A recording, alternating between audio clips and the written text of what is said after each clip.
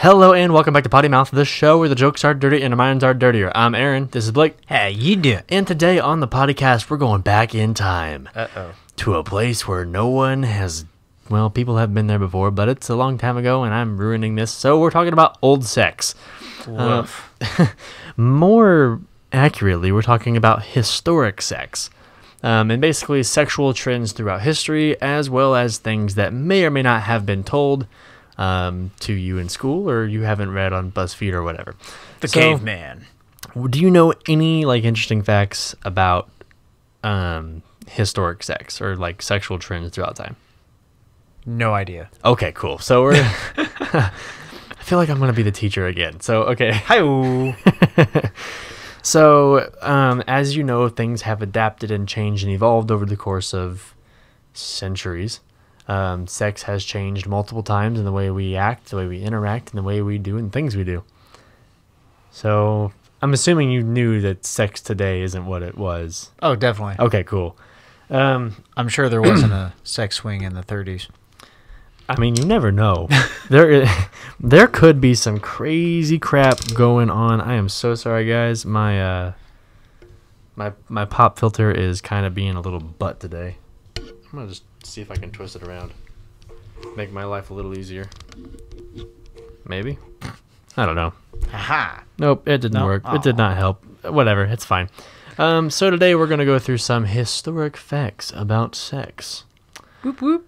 Yeah, so um anyway, so in ancient Egypt, we're starting back way long time ago. We're talking about 3100 to 320 or 332 BC. Hmm. I wonder if this is still true today. So, back in ancient Egypt, actually, so there's actually a lot of cool things about ancient e- about ancient Egypt. Um, so ancient Egyptians were one of the first pe- peoples to use makeup. That's Um, right. They also believed in being completely hairless due to hygiene. So they were the first ones to implement a really strict hygiene um, like regimen. Yeah. Um, so, um, in regards to sex, uh, or the historical part of it, so having lipstick on meant that you were open to oral. Um, oral sex was practiced in most ancient societies uh, because, duh, oral sex is fun. But ancient Egyptians are often noted as particularly enamored of going down so much that one of their most important myths centers around a blowjob given to a clay penis. So we're talking about not only we're talking about blowjobs, we're also talking about the first dildo. Interesting. Yeah. So which brings us back to the god. You're good. Excuse me. You're good. So which brings us back to the god Osiris, um, or excuse me. So there's a there's a myth that centers around a blowjob being given to a clay penis, which brings the god Osiris. Oh, I, I can't pronounce it. Or Osiris. Osiris. back to life. Um, so anyway, the ancient Egyptians' enthusiasm for oral sex is credited by some historians with creating another cornerstone of modern society, lipstick. So they did. We're talking about the makeup in ancient Egypt, and that they created lipstick. Um, Egyptians are often thought to have been the first ones to wear makeup. Uh, under this theory, the Egyptian enthusiasm for makeup and oral sex collided when ancient Egyptian cour- courtesan, courtesans, yeah, publicized their oral prowess by coloring their lips, a practice that eventually evolved evolved into the modern red lipstick classic thing that you like. Interesting. Any questions? So far, why would clay, clay dick? So, uh, so okay. So, have you ever heard of like ancient, like Egyptian, like the gods and how they believed in the, Yeah. the god for everything? So there's a, there's an Egypt, Egyptian myth that centers around a blowjob being given to a clay penis, which brought the god Osiris back to life. I'm curious on how big they made this dick. I mean, It's a god dick. who knows? a god, dick. a god dick. Bam. It's like, what are you doing today, Osi- Osiris? Well, you know. um. It's not what I'm doing. it's what you're doing. Oh, that that went that went. Okay, we went there. Um, moving on to ancient Rome, uh, we're talking about 753 BC to 476 AD. Um, and we're talking about the a belief in aphrodisiac food was common in a lot of ancient cultures, including ancient Rome. Since you can't believe that some foods get you horny without believing that others do the opposite, some Romans believed that certain foods possessed anti aphrodisiac qualities, particularly lettuce. Ancient Romans were suspicious, suspicious of lettuce, which they believed could instantly render men impotent. Oh shoot. So Roman males tended to avoid the green stuff, which I can only assume led to a lack of fiber in their diet.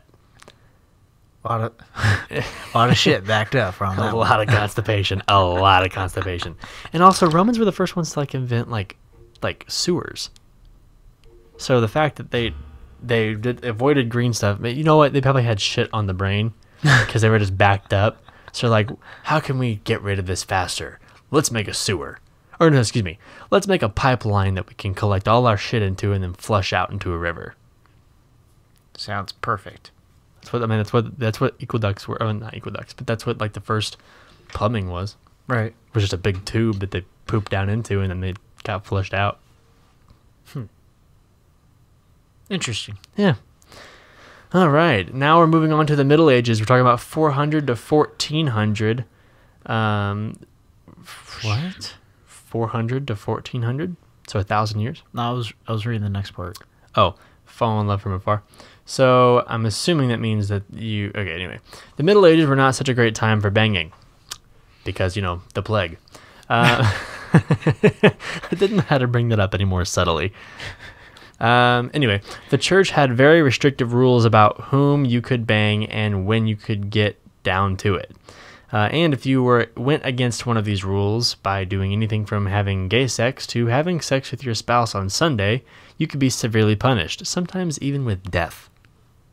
I mean, there wasn't enough people dying already. Right. Of course, you can't stop people from banging even if you make crazy rules about it, and so people in the Middle Ages kept doing it. But the restrictions on sex, as well as changing ideas about things like whether marriages should be arranged by families or voluntary, led to the creation of the concept called courtly love in the late 11th century. Any ideas of what you think courtly love is before we go forward? I would assume courtly love is. I just want to see what he thinks it is. You know, I could be like way off. it's okay. No And- judgment. I feel like that would be involuntary love. Involuntary love? Yeah. Like rape? No. But like arranged marriages. Oh. Sorry. he sorry. said involuntary love. What? Uh, Blake? It's a whole different topic, brother. My bad. Uh, no, you're fine. Okay, I don't know. Do you want to expand upon that at all, or you just want to move forward? we'll move forward. Okay. Courtly love existed between two people who were not married to each other, but probably were married to other people. Oh, So, cheating. Or an affair. bastards. Typically, the female in a courtly couple was the noblewoman in a marriage set up by her family. Her male lover may have been a troubadour, knight, or other man of a courtier class. The man put his feelings for the woman into songs or poems, celebrating their emotionally elevated, the love which they were doomed to never fully express as a married couple. La. In fact, uh, though it involved constant declarations of eternal love, courtly love seldom involved actual sex. It was a precursor to what we call to what we now call emotional cheating. But as a common subject in art and entertainment, courtly love changed many popular ideas about love and romance. And many of the rules of courtly love, like that suspicious that suspicion of beloved gen- generates whatever. Um, oh no, that like that suspicion that beloved generates jealousy and therefore intensifies love, and thought of the beloved never leaves the true lover, are still popular among teenagers, immature adults, and characters in romance novels to this very day. So okay, I have a question now. Since I read that, do you believe in emotional cheating? Define emotional cheating. So, like- more. I just want to make sure I'm. I don't want to. I don't want right. to tell you wrong, and I don't want to tell the listeners and the watchers wrong. So, let me just type it in here.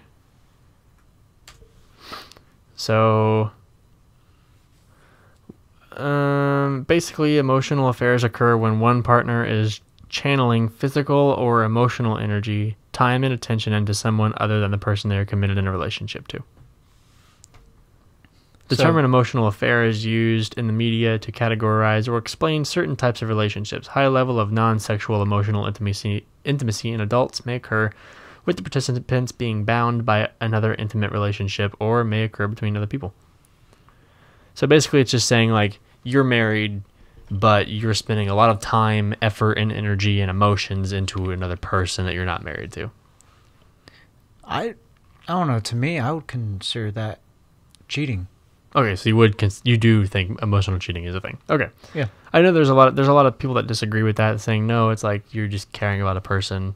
It's okay to care about somebody and blah blah blah blah, blah but then There's a difference between caring about them and attached to them. right, yeah, no, I agree. As I- in, like, you're mentally cheating on cheating on your spouse because of the fact that you're having more feelings for this person Right. than the other, and you're giving them all your attention, and not your spouse. Yeah, sure. I mean, yeah, I, Mhm. I I would agree with you. I just yeah, I didn't know what your take on it was. Yeah. Some people don't, and some people do. It kind of like it, it's a line. It's a weird like thing. Anyway, um, here we go. So now we're moving on to the Puritan era, uh, 1500 to 1700. So despite what you may have heard from well, everyone's, uh, everyone's everyone, excuse me, despite what you might have heard of from everyone, Puritans did have boom boom time. Yeah. Um, actually, quite a bit. So, by some estimates, one in three Puritan brides were pregnant on their wedding days. on it. On their wedding day, they were pregnant. One in three. Some estimates, not all, and that's not fact. That's not actually fact checked. Um, but while this sounds shockingly modern, the average Puritan was also into some stuff that we'd consider an advanced level of sexuality today, like public sex. Hey, Having sex in a field, forest, or hedge was a normal part of Puritan life, as was having sex in an outhouse, porch, or a room where other people were present. an outhouse. That's a little stinky. I mean, I guess if you're going down on her, though, you wouldn't tell the difference if it was bad or not. I mean, if you want to eat her butt out. Oh, ew. Ew. Blake, no. No. No.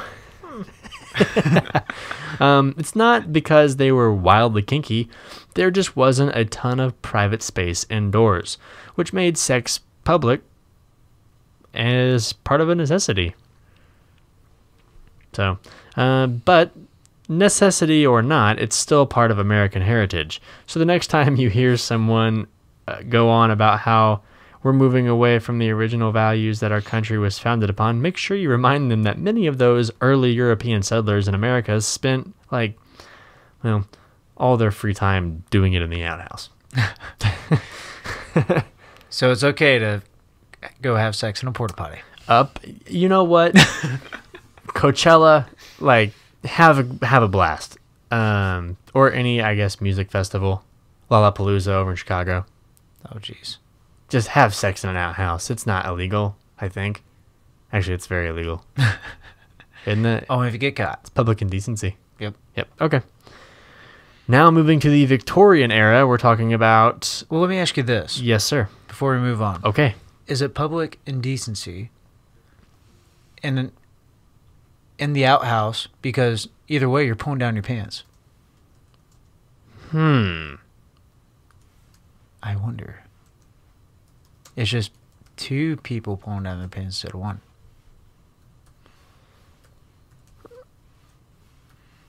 Um. Well, let's see. okay, so it is unlikely that an ar- argument that sex is a scheduled part of public setting is not public sex. For example, a couple having sex in public restroom stalls with the door closed is more or less out of public view, but in most state decency laws prohibit sex in bathroom restrooms, period. So, most states in the United States prohibit it. It is against the law. Most states. I don't have a chart telling you which one, but most. You can check up your own statute and legislation and all that bullcrap. Um, but yeah, I don't know. So it's illegal to do the Mile High Club? Oh, it's no, that that's federal. That's a federal crime. Dang it. Yeah, that's if you that that's you can whew, that's a big no no. Having if you get caught having sex in the in the in the bathroom in the plane, that's a federal offense. Really? Yeah, that is a federal offense and a first degree like it's a big it's a first degree felony Wow. or something like that. It's a I don't know if it's first degree, but it's definitely a felony. I do know that. Well, I guess I'm going to have to get a private jet real quick. There you go. Yeah, because then they can't tell you what to do. That's right. Um, but yeah, it's my yeah. If you bitch. if you get caught, that is a it is a felony. I don't know what degree, but it's definitely a felony. It's not a good not a good time. Interesting. I mean, it's probably a good time, but you're not gonna like the punishment for it. The after Um, effects are bad. Yes. Okay, so the Victoria era. We're talking about 1835 to 1901. Victoria's um, Secret. Yeah, there we go. Uh, Victorian sexuality has become quite uh, the historical hot topic in recent years, as the idea has been popularized by Victorian women diagnosed with hysteria. Um, basically, any physical or mental health issue were treated by being brought to orgasm by doctors with vibrators. Hey. Um, some historians have come out to say that our understanding of vibrators and hysteria is confused, and that while Victorian doctor Mortimer Granville invented the first motorized massager, it was created only to treat injured muscles, not love muscles. Yeah, same thing. What's the truth? Were Victorian women prescribed Jill-off pills session or Jill-off sessions? Whoa. Were Victorian women s- prescribed jack-off sessions? That way, doctors today prescribed. Oh my God, that's messed up. So it's it's a, it's a theory that Victorian women prescribe were were prescribed playtime sessions with themselves um, the way doctors would prescribe a foot ointment? Or is it just wishful thinking? What? Anyway, the jury's still out, but there is one fact we know for sure. Vibrators, uh, excuse me, personal massagers, um, as we know them, were invented in the Victorian era, and for that we must thank our Victorian ancestors, even though they were kind of the worst. I mean, kinda, but because see, we had two in the Victorian era, 1837 to 1901. We're talking about the Civil War, the French Revolution, just a bunch of death, just a lot of freaking death. And a lot of orgasms. Apparently. Uh, yeah, that's that's interesting. Anyway. okay, moving on. So we're moving on to the 1970s. Uh, though much of the 60s was more of popularizing free love and premarital sex, that line of thinking gets a lot wrong very fast. Um, in the 70s, premarital sex was already quite popular um, from the early 1900s all the way up into the 1940s, 50s, 60s. But then we started to cross a line like playing with the ideas of non monogamy. And it actually took a deep hold in the public imagination in the next decade, talking about the 70s. Mainstream American pop culture in the 70s often openly championed non monogamous sex, even and especially for already married couples who had been previously monogamous. so, more about the open marriage. Uh, and actually, in 1972, the book Open Marriage by Nena and George O'Neill became an international bestseller. It was the first mainstream voice to advocate for emotional commitment without sexual monogamy. Many people followed suit and experimented, leading to key parties. Do you know what a key party is? Nope. Okay, so a key party is where you would go to each other's homes, or like you you you have like a, a, bunch of people over, a bunch of couples, and then you put your car keys into a big bowl, right? And then you would draw a car key that was somebody else's car key, and then they would whoever had your car key, you would swap. Interesting. Yeah, so like let's say you had a wife and you went to this party and um, one of your friends and his wife grabbed your key and you had theirs, you would sleep with his wife and your wife would sleep with him. Dang. you'd swap. So that's what a key party is. And it's probably going to explain it. But so parties which couples attended to swap partners. That's pretty much what it was. As well as heterosexual clubs uh, focused around swinging, like New York City's famous Plato's Retreat, which opened in, the ni- in 1977, which followed in a long time tradition of being a gay bathhouse. Lovely. Yeah. Though this era of open marriage open marriage experimentation is often remembered as a cultural misstep, it opened the door for today's take on non-monogamy, which is basically the same thing. I mean, it's pretty much what how it works today. Like if you're gonna swap or swing or whatever, like there's not there's not like a whole party based around it, but it's basically the same thing. Yeah. Any questions? I don't know if I could ever do that. I probably couldn't either. I No. actually I know I couldn't. I get too like But uh, that's my girl. yeah, pretty much. So you ain't her. Uh, uh, uh, uh, uh, uh, uh, uh, uh. Anyway, um, moving on to the 1990s. That's uh, okay. Um, so, lest you think S and M was popularized by Christian Grey and his dad jeans, uh, know that the practice experienced numerous profiles booms through the 20th century.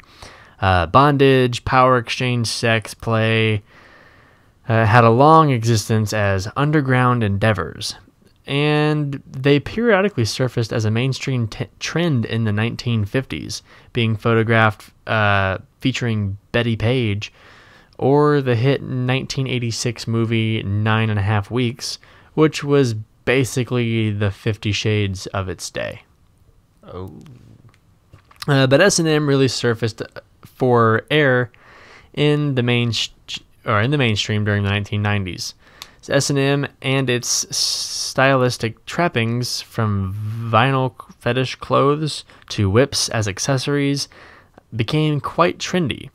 With a 1992 Versace collection called Miss S&M leading the pack, S&M scenes were used to sig- signify danger or cutting-edge cool in a variety of TV shows and movies during the decade. So much so that the 1994 Rosie O'Donnell movie Exit to Eden parodied the trend. Oh, Rosie. Major publications like the New York Times, the Chicago Tribune, and Spin sent reporters to cover the new trend, or bondage and sedum, sedomachism. Ah, it's you know, God, you don't know how to pronounce it. Um, no offense, This guy. Sodom. It's sodomachism. Sodom. Sodomachism. I don't know. It's it's like sodomizing, but it's anyway, leading to countless undercover reports from writers who attend who attended S and M clubs and penned shocked articles about how everyone was running around spanking each other. Come here. so they're writing articles about how everyone's spanking each other. Lovely. Um, you try to pronounce that word. No. Just try it. No. Just once.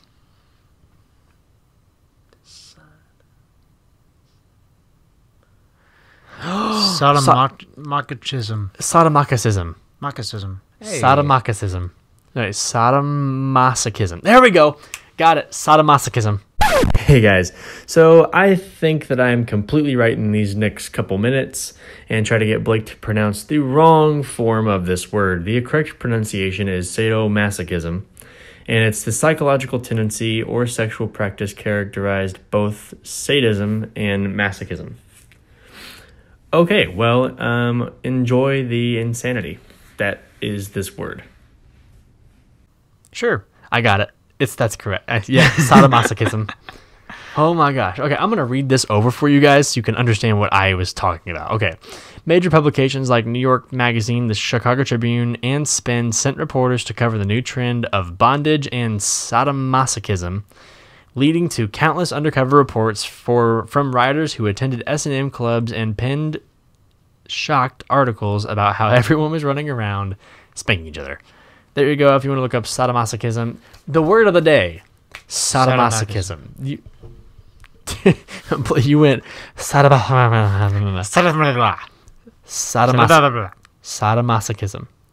Try it.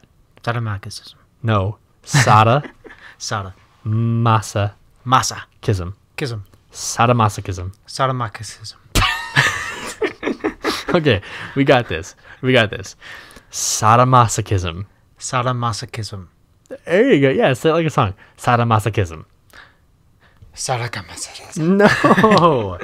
Sada Sada. masa Masa. kism. Kism. Sadomasochism. Sadomasochism. Not kissum. Like, you're not kissing somebody. Kism. Kism. Sadomasochism. Sadomasochism. Kism. Kism. Gosh dang. Sadomasochism. Sadomasochism. Look, Sada. look, Sadomasochism. Sadomasochism. Sadomasochism. Well, masochism. Yeah, maso, maso, whatever. There's an L. Yeah, sadomasochism. Sadomasochism. Macarena. Sadomasochism. Try it. oh my gosh. You got this. Sadomasochism. No. Sadomas. Oh, now you're gonna me messing up. Yeah. Sadomasochism. this word. I hate this word. Sadomasochism. Say it slowly. Sadomasochism. Did Close. I it right? That's close. Sadomasochism. Sadomasochism. There you go. Okay. Sadomasochism. You're trying so hard right now. okay, wait. You, Next. You, you, you got it. Just try. do- Go. Sadomasochism. Sadomasochism. Don't think. Just say it. Sadomasochism. Do you know me? Yeah, I know. it's okay. Sadomasochism. Sadomasochism. Sadomasochism. Sadomasochism. Are you gonna kiss him? Are you, kiss, are you kissing me or something with sadomasochism? Sadomaca. No, wait, I said it wrong. Sadomasochism. Sadomasochism. Damn it, Blake. Fuck you. Sadomasochism. Sadomasochism. Sadomac. Sadomasochism. Sadomakaka. Okay, we're moving on. Sadomacaca. Sadomakaka. Sadomakaka. Suckermacaca. Oh, what? Nothing. Anyway, Any Hoosers. and of course, Madonna got in on the action. You Uh, guys probably course. not even on the same track with us anymore at this point. Wait, what the? F- They're like, what is happening? Something about spanking and sadomasochism. Sadomasochism. Sadomasochism. Can you say sada? Suckermatichism.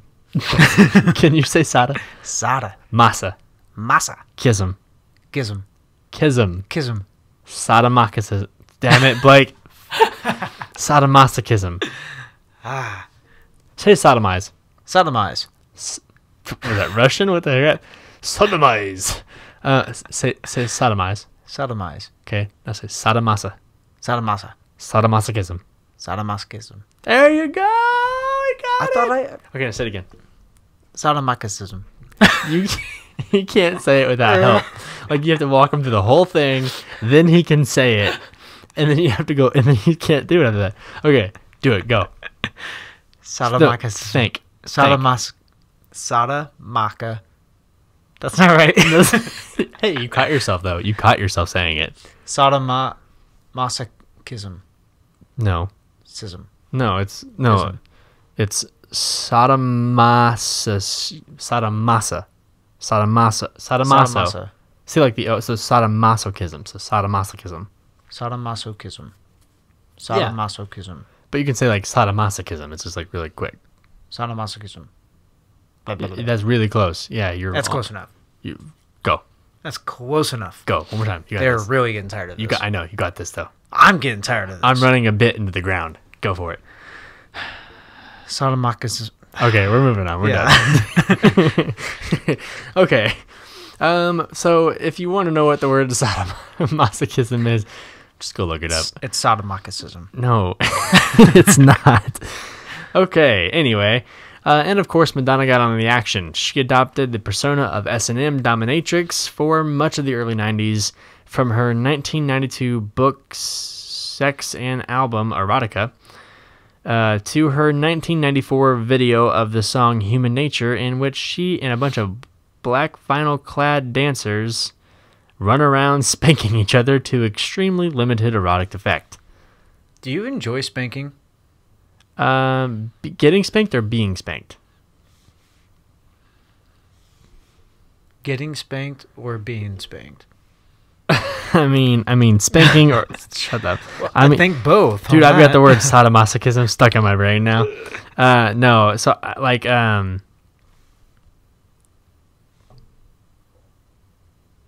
What? I don't know anymore. like, we spent like seven minutes on the word sadomasochism, and you still can't pronounce it. Sadomasochism. God damn it. If you like this episode of Audio, make sure to like and subscribe wherever you get your podcast, iTunes, Spotify, or watch it here on YouTube. If you're watching it here on YouTube, make sure to like this video so we can keep bringing you fun, to the content like this.